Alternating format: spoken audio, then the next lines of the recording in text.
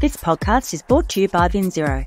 Vinzero pioneers solutions and services to the AEC and manufacturing industries to support net zero targets. Visit vinzero.com to learn more about how organisations design, build and solve through digitalisation. From Vinzero to you, welcome to our Think Future podcast series. Each week we'll share conversations with industry leaders from around the world to find out how they're thinking future. Subscribe to Vinzero Think Future for access to more episodes, interviews and profiles.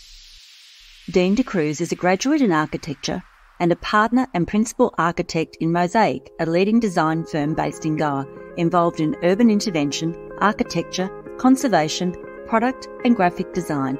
Dean is actively involved in professional practice as well as in academics and has conducted numerous workshops and seminars on architecture, planning, and the environment across India as well as abroad. Dean's work and articles have been published in leading magazines around the world, and he supported the Royal Institute of Art, Stockholm Oxford Brookes University UK, and Pratt Institute New York for their architectural and planning programs in Goa. At Mozaic, Dean strives to provide holistic solutions to its patrons. Mozaic explores prospects of symbiotic growth of their clients with nature encourages sustainable practices in their design, and Dean joins us today to talk about design for the future. Welcome to the program, Dean. Hi, great to be here. Dean, can you tell us, first of all, what inspired you to study architecture? Architecture was quite by chance, actually, as a profession. For me, I mean, my dad was an engineer, and uh, it almost felt that I had to become an engineer as well. I came upon it quite by chance, but I realized it was it was right up my street. Uh, when I look back at my career scores in school, which you have this assessment, uh, I scored like an 80 in science and 80 in arts, and, and the first recommendation was architecture. Yeah, this was after I joined the architecture college, and I look back at it, and I, I was really lucky enough to find a course that you know was really meant for me. And as I went along, it really is I discovered it in a way, you know. So it's I lived it in a way. I mean, through college, it was a great experience, you know, because an institution can only give you so much. That when you really live architecture, it it opens up so much more for you. So I, am really happy I, I chose it. When uh, I graduated in architecture, and even during during my years uh, studying architecture, it was those brave new years of you know architecture in India. So it, it was this uh, you know we're we're a young country. We have to sort of create an identity of our own, and uh, but modernism was really you know, a driving force in the architecture of India. So it's we a lot of the buildings at that time were these uh, buildings that attempted to to keep up with the Western world, as they say. So you could see a lot of experimental things. We had Corbusier, uh, who had done some buildings here, Kahn, who had done some buildings here. And uh, those were the inspirations for the early architecture. So stalwarts like B.V. Doshi and Charles Correa were modernists. Those were big influences for students of architecture and even, you know, uh, architectural practice at that time. What we see happening here today is, is interestingly different because uh, you can see that our architects are now constantly trying to be different from the rest of you know rest of the world, rest of Asia. There's a lot of experimental work taking place and uh, a consciousness to to do an architecture that's appropriate to India, which is it's nice to see. How is the architecture in India evolving based on today's needs? India is really going through a challenging time at the moment. I mean, we have a shortage of affordable housing. At the same time, we have a price rise in architecture. People are paying, you know, generations of income, you know, just to buy a single house in a lot of cities. Uh, developers control the market. Uh, architects have a very small role actually in the architectural game because developers really call the shots. It's really interesting how certain architects are actually addressing this in a way. I mean, there are people who've done uh, studies on, say, traditional forms of a low cost architecture. If you look at Bombay, for example, there's the Chawl model, which is this one room tenements, uh, you know, stacked together in these really compact uh, housing complexes uh, around a central courtyard. And even though the privacy levels uh, were really, you know, poor on that thing, people just almost look at the other person's house it was great community. I mean, in these buildings, uh, which were generally looked down upon uh, because they were not very, you know, well-to-do people, they came from different parts of India, had different cultures, different religions, and yet it was a cohesive sort of settlement that came together. They celebrated each other's festivals, uh, and India is transitioning from this, you know, joint family system to a nuclear family. So you these peoples were the first nuclear families. They moved from their villages to their joint families. They come into cities that you know this is the only thing they could afford. So they really had to reach out to each other to help each other, and and the architecture sort of helped in that way. It was just you know by chance that it it was really dense and it had corridors around. So the corridors became the public space. You know, they had the little room, and uh, that courtyard also became that uh, central space for the community. So as Indians, I think we uh, our privacy levels are, are generally very low in terms. You know, we don't mind people, you know, sort of dropping at any time, and you know, there's not much of uh, that barrier. So I think it's it's it's a great opportunity to actually take advantage of that informality in the architecture we design. So, Dean, what does sustainable architecture mean to you? Well, about 40 years ago, when we first started practice, uh, we used to build in a low cost style of architecture, not because we wanted to necessarily, but it was the only way as a young architect to actually, you know, come into the market. I mean, people would come to you and said, "Can you design a building for us?" And you know, how much it costs And we say, "We we can do it for less. You know, we can make an architecture which is you know cost less, and yet at the same time perform much better than most other conventional pieces of architecture. So we, we use low cost materials, recycled materials. It's only 20 years later when the word sustainable came about that we realized that we were doing sustainable architecture. We, we, because it was low cost, we we're recycling stuff. So when I look at sustainability, it's it's really about being low cost. It's about being sensible about things, sensitive to issues. So uh, we we work with a craft based architecture. We try to recall building systems, you know, we trained masons over the years. We are called you know, building systems in masonry and wood and steel. So we were contributing to sustainability because sustainability is, is not just about you know materials and technology. It's, it's also about livelihoods. So how do you provide livelihoods, especially in a country like ours, where you know labor that's available is plenty, and, and of course we're losing the the craft base. So so here was an opportunity to actually allow for livelihoods to be um, supported, and that's sustainable uh, allow for resources which are closest hand materials which are you know available in the village. Uh, and uh, if you look at traditional systems, they're, they're also easy to uh, access and you know understand and, and work with. Uh, so if we just do undertake these very simple sort of uh, methodologies, we've achieved sustainability. And uh, it's no big deal because uh, unfortunately today sustainability has made this very complex thing. You have these green rating systems and, you know, green leaves. So five green leaves if it's, if it's fulfills these, ticks these boxes. Uh, whereas I think an architecture which is just sensible, you know, it has to have uh, really a, a, clear understanding of what the issues are. Uh, when I worked on a building in, in Noida, it's close to Delhi, we worked on a prefab building system where we were looking at a thin wall system uh, where the two options were natural stone uh, as a cladding or a vitrified tile.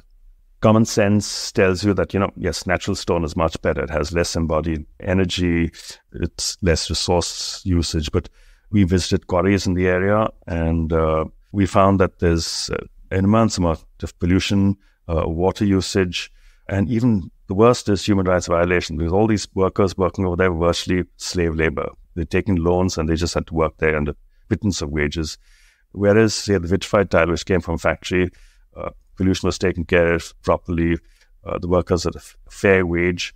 So it was really far better in that sense. So even though the embodied energy was more, uh, it made more, far more sense to actually use this industrial material versus the natural material.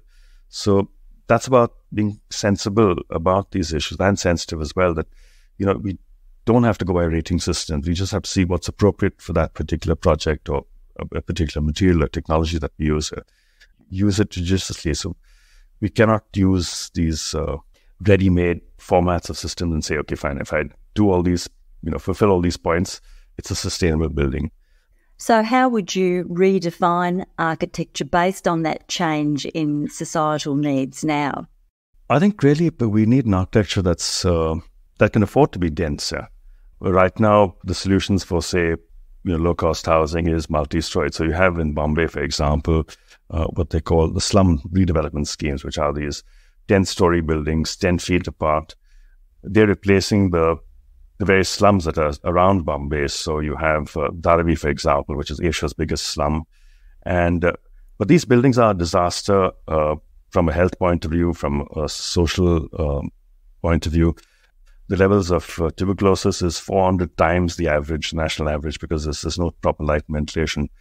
So, as architects, we need to really look at is this the correct model? How do we go? Is it, it can it be high density and low rise? Can we create you know proper light, ventilation, sanitation uh, for these people at a low cost? Uh, and there's some interesting solutions actually coming out from that. Uh, and it's a question of just implementation. So I think if architects can influence policy change, that would really make a big difference. Uh, and the way we can do it is actually by creating some really sort of aspirational presentations. I mean, now with the softwares today, you know, everything can really be jazzed up to a level where, you know, the politicians sort of uh, look with interest at it.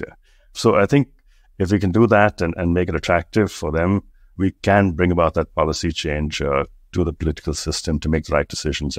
And you just touched on some of the interesting solutions that you're seeing today in India when it comes to architecture.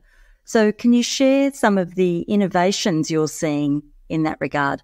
So, the people like uh, architect Sameep Padora, for example, who's actually uh, now who heads the the CEPT school in Ahmedabad. Uh, so he's done a very interesting study on you know, the chawls in Bombay and other low cost housing, and come up with uh, done research work on you know what are the possible solutions using that model. There's B.V. Doshi who's done it in some of his housing projects. Charles has done it in some of his housing projects in New Bombay. Uh, so the number of solutions, you know, all over. Uh, Laurie Baker has done it in in Kerala. So we have a lot of uh, possibilities, you know, depending on you know, the region, the, the cultural influences of the area, of uh, really great solutions. Uh, unfortunately, it really needs uh, you know political patronage to be able to implement them. So I think it's it's a challenge to really you know push these uh, projects through. So when it comes to driving change for a better built environment, what role do you see architects playing? So maybe I think uh, the role as an architect. I mean, I mentioned the regional plan uh, in passing. That that you know, even though I'm not a trained planner, I I sort of took part in preparing the new regional plan for Goa, and, and, it was a great experience because you're you're creating architecture at a totally different level. You know, you're it's not just about building; you're creating a complete environment of, of communities uh, uh, coming together. You're creating these communities that integrate with with uh, you know all the natural resources. Uh, so I think architects really need to move out of their comfort zone uh, because they have the ability to actually uh, intervene in so many other areas. So the ability to actually communicate with people, uh, to convince people, you know, of what really is the way out. Uh, the architectural education is, is so broad based that you know you, you got an overview of you know what's happening in terms of you know, the environment, uh, the economics of things, you know, the, the governance systems, uh, and the actual implementation and building. So I think it's if we can get more architects to actually uh, become good citizens, I would say, uh, I think we could see a big difference. And and just of course, it just doesn't mean architects. It's it's everybody really to be conscious and and participative in policy making, you know, so that uh, we can really bring about the change that's needed. Because the crisis that is upon us right now is we don't really realize how bad it is till it, it really hits us and it'll be too late. So the sooner we really, you know, take it on board and deal with it, I think uh, better it is. Uh. So, how do you get that political patronage to support the requirements for change? So, a lot of institutions, for example, the IIA, which is the Indian Institute of Architects, the uh, uh, Triple ID, which is the Indian Institute for Design, Interior Designers, are actually creating these outreach programs as sort of uh, part of their CSR. And they're doing these uh, proposals pro bono and putting it forward as presentations to the government saying that, you know, why don't you try this? And a few of these have actually have been implemented, especially in the area of you know urban interventions, you know streetscape, uh, a few housing projects here and there in terms of turning it around. Uh, so I think it's it's it's slowly happening. It needs it needs to be moved much faster, but there's hope at least. Uh. Are you seeing an increased requirement or an increased focus on CSR based initiatives in design? There is a little, but not enough. CSR money is mainly going into the, the healthcare, the educational sector. It's not going to architecture where it could really help. That's really the brick and mortar of even education and healthcare. So can you do something which will really create a framework for you know, the various social social areas, arenas that you want to work with? Uh, uh, for example, in, in Delhi, uh, the Aam Aadmi Party, which is a fairly young party, created this model of uh, what they call a Mohalla clinic, which is basically a very small clinic rather than have these district hospitals, which are, you know, uh, far to reach. And, you know, a person who doesn't have the means really has to spend half a day going to the hospital and he forfeits his earning for the day. These clinics virtually come to them. Uh, they're small prefab units, uh, which actually can be placed in any little open space. They don't require any building permission. They're fairly low cost. Uh, in fact, a friend of mine actually worked on the design, and uh, it was the first time that these designs were actually made. So there was no PW regulations in terms of what the materials used. So they actually created the model. Uh, they, they costed it out and said, okay, fine, this model costs 30 lakhs. Uh, they tendered it out uh, for 500 units, and the cost came down to 15 lakhs, you know, per unit because it was, it was mass produced. And uh, so it was just an amazing exercise in actually uh, bringing this new architectural model into the into the urban scape, and uh, you know, it's it's really made a difference to people's lives, especially the lower section of society, of uh, services coming to them to their doorstep virtually. And you just mentioned they're being manufactured for mass production. Are you seeing any trends in design for manufacture and disassembly and assembly? There's great potential taking place. I think the materials of uh, prefab are now of much better quality. So in the old days, a lot of prefab materials didn't join properly. They didn't last very long, so they really got a bad name. But now the quality of prefab units are, is much better. The you know, the design aspects are really well taken care of, and uh, the great advantage is really the speed of construction. If you take the actual cost of a prefab unit versus a conventional sort of architecture, it more or less works out to, to the same. But because of your speed of construction, that means your return on investment, uh, the time taken to actually implement what you're planning uh, is much less. It's actually quite cost effective. So I see a lot of that happening and wherever it's appropriate. Uh, we ourselves have also, you know, gotten in a small way into doing prefab uh, structures uh, where we, if we're working in eco-sensitive areas, of course, mainly in the jungles or in uh, coastal areas, where we say that you know, we can build this and we can take it away and it doesn't impact the environment. But also in urban areas, so you can see these prefab structures coming up on the terraces of buildings and the open space. You know, so it's definitely catching on, and uh, it's made a big difference. Uh, and certainly, your region is affected by climatic conditions and scarcity of resources. So, with water circularity top of mind for World Green Building Council at the moment, COP28 this year, What's happening in India when it comes to design for circularity of the city's water system? So, water is a big challenge. So, because most cities, I mean, across the world as well, tap water sources from well beyond the city. I mean, because they're from lakes or rivers, uh, which are quite distant away. And that actually saps uh, resources from local area, where it's, you know, villages of that area. And the city's water needs are constantly increasing because the number of units are coming, because of uh, the water needs. Uh, in Goa, for example, uh, when we had the traditional well, people to draw water, you know, with a pulley and little, you know, sort of uh, vessel called goso over here, and uh, so the volume of water that you use was 200 liters in a day. But the moment they started putting pumps in the place, you know, because you just pump up any amount of water you needed, here you had to actually physically struggle to take the water out that went up by five to ten times. Yes, so it's the conveniences that have really also you know put a pressure on uh, the thing. So without thinking, you you flush without thinking, you just you know shower to any length you want to. So I think there's the consciousness is is coming about that we need to use less water, but uh, it's not soon enough. And I think we're going to face a fairly serious water crisis in the future in our cities because uh, they're all really stretched and uh, Another factor is really uh, the climate change uh, factor that's, that's taking place. Uh, so a lot of these our cities are going below um, sea level. I mean, look at Bombay, the, the scenario is really quite scary. What's going to happen, say, by 2050?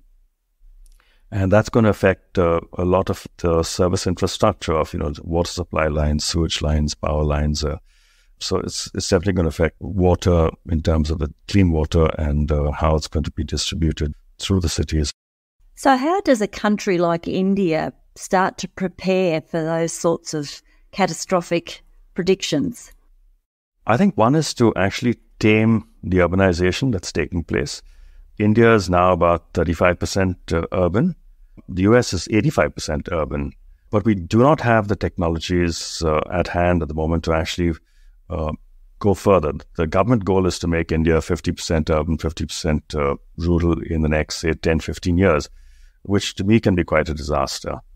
And the reason why people are moving to cities is because the conveniences. I mean, you know, sort of maybe better schooling, better facilities, services at the marketplaces, or accessibility to uh, any other amenities. So, what we're trying to push is say that, you know, why don't you actually uh, get these amenities to tier two and tier three cities uh, rather than allow them to come into um, denser sort of urban areas? And put pressure on you know the infrastructure of, of big cities. So if you make these you know smaller cities and towns uh, attractive, they will not need to move because the people who move into cities really don't identify with the cities. There's there's always this little house kept in the village when they retire to go back to. So they're not they don't really feel that they belong to these cities. Uh. So I think it's important that we, we try and you know keep the human factor in mind when we design these cities and uh, so yes, there may be people, you know, uh, young families that may identify with the cities and continue living to them, but a good majority of them actually want to go back to their hometowns. And and this has been, you know, studied, uh, you know, by a lot of organizations, and they realize that uh, cities are, are not aspirational from actually a perspective of you know looking into the future and you know as a retirement place. So they only come there because of the conveniences that it has and they don't really feel that the cities are, are, a good place to live in. And especially we look at the toxicity that uh, that cities are now, the, the pollution levels, and uh, a number of other issues that are taking place. There's a great deal of social strife that's taking place in cities with the sort of uh, political systems that tend to divide communities. You know, you can see the tensions that take place in cities, whereas in their traditional places, the demography of the places is fairly even, so they're able to actually, you know, build communities a lot easier. So I think it's it's it's important that you know the government looks at supporting uh, rural areas, uh, providing enough density that they can have the conveniences. It really it really is much more efficient because then you don't need to centralize you know water systems and power systems. All these remain distributed. In fact, the, the real solution for India is decentralization. You know, and in our strive, you know, as a new as a new country, we thought, you know, we must centralize everything, must control everything. But uh, as Gandhiji says, the future of India lies in our villages, uh, and which is so true, you know, today especially because our villages have really been the model for development, you know, because they've uh, in a village people have a sense of identity that they have because they've, they've grown up there, they their forefathers have been from there. There's a strong cultural bondage that, that takes place in these in these villages, uh, and these villages can be made you know, uh, industrial in a way, but it's a soft, sort of soft industrialization. So uh, industries which are really sensitive to a lot of the ecological factors, industries which are craft based. So I think that needs to be really developed and encouraged. Unfortunately, we've taken the industrial model, which is like big industries where, you know, and make workers out of craftspeople. Uh, we need to really, you know, actually reverse that trend and, you know, get back the craft into India. We have a major unemployment uh, uh, issue in India. So a lot of what we do needs to be, you know, labor intensive to actually make use and, and provide employment for these uh, these people, and not just meaningless employment, employment which really uses their minds and hands in a positive way. Are you looking for a digitalisation and net zero partner to help you achieve your goals? Join the thousands of AEC and manufacturing customers globally who have turned to VinZero to start their journey toward a net zero future. With 32 offices around the world, VinZero can connect you to the right technologies and workflow processes so you can maintain your competitive position and increase profitability. VinZero has an industry expert to help you navigate the best pathway forward wherever you are on your digitalisation and net zero journey. Visit vinzero.com to find out more. So you've mentioned a few times there the political landscape and, and regulation and policy. What is the role for regulation and policy in driving the mindset change required to, to rethink urbanisation? It can be driven from a number of aspects. One is, of course, resources. I mean, if they just do a number crunching on, you know, what is the investment needed to say provide so much more water, so much more power to cities. You look at congestion issues, look at what they're spending to create metros to try and mitigate the problems of transport within cities. If they just do that simple number crunch and they realize that they're spending so much on all these infrastructures just to make the city not attractive, just livable, you know, which is just basic uh, sort of livability in it. And yet it's a struggle for people in cities. Uh, whereas the investment needed, say, in a rural area would be far, far less uh, because it already has the natural infrastructure to live a good life here. And the aspirations are not that much. You don't need to provide playgrounds and and other things. They don't really exist. Their fields are their playgrounds. You know, their, their hills are their playgrounds.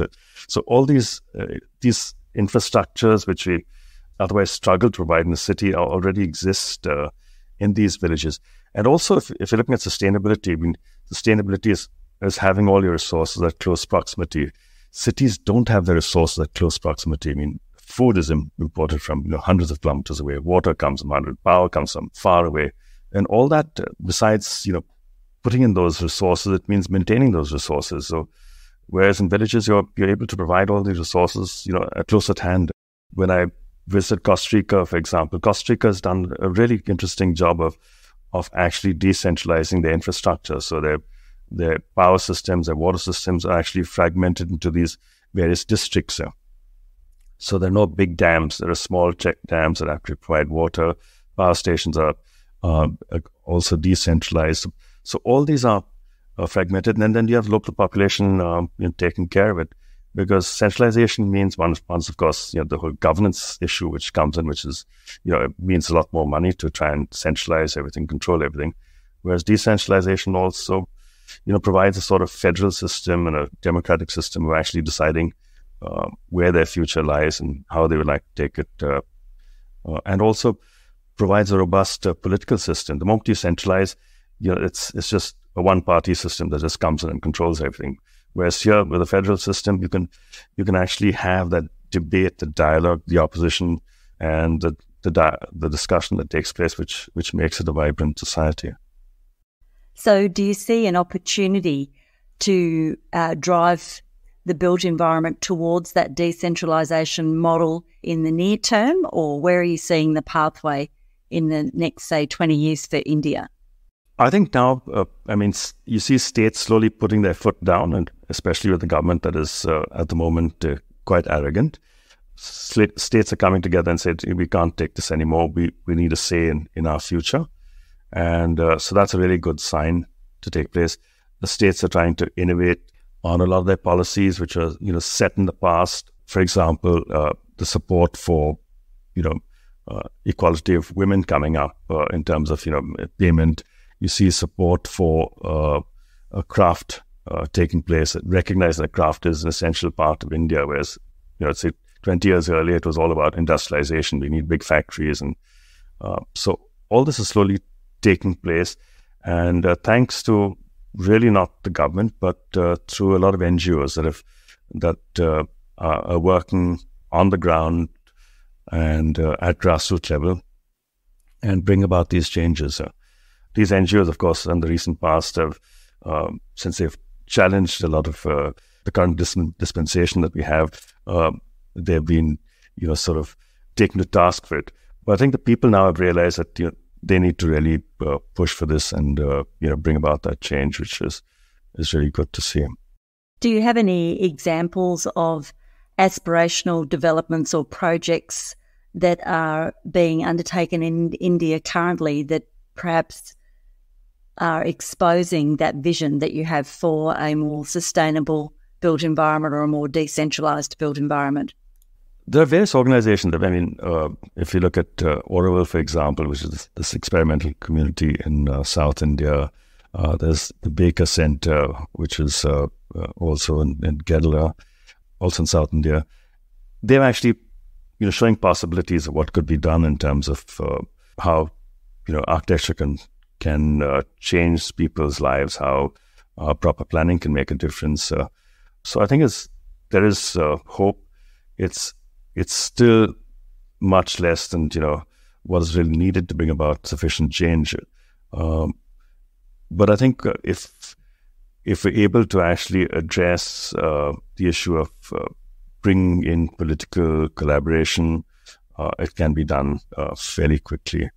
So I think if you look at, say, climate change, that could be a great driver because suddenly people are being, becoming aware of uh, the effects. I mean, food resources are being challenged at the moment, and farmers, as you may know, I mean, their crops are extremely vulnerable to um, disasters at the moment. So they're realizing that they have to now look at alternatives in terms of planning their futures, and it can only come from from good planning exercises, which uh, uh, and that's why you know when uh, when we worked on the regional plan for Goa, we uh, we felt that you know planning is not just about uh, the typical development issues of you know industrialization and you know economic growth. Uh. So, Dean, you're talking a lot about the role of villages in creating a better built environment. What role do you think eco villages play in teaching us about a better future?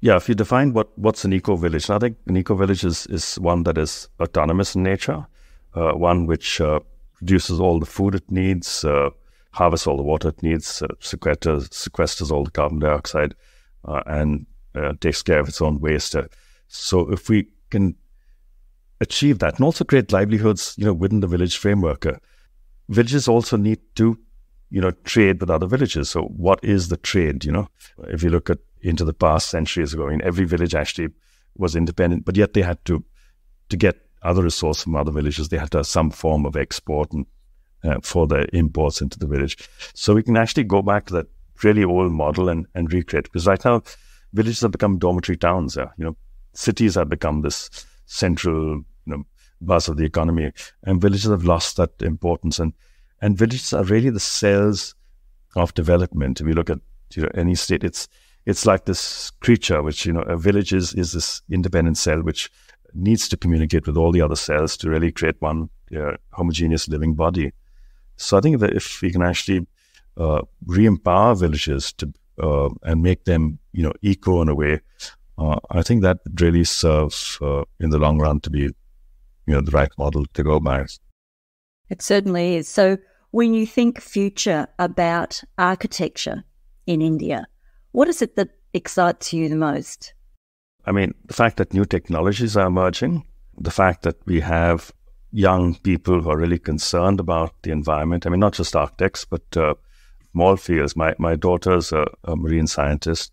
She struggles with trying to understand, you know, why the world is so insensitive to to uh, ecological issues. But she still, you know, believes there's hope here, and I think we can actually give that sense of hope uh, to young people. Uh, they will move on. I mean, she was part of a group that actually challenged the government that were putting in three major linear projects in Goa, which was uh, uh, the double tracking of a train uh, line, the widening of a highway, and uh, massive new transmission lines that ran through dense forest area sanctuaries.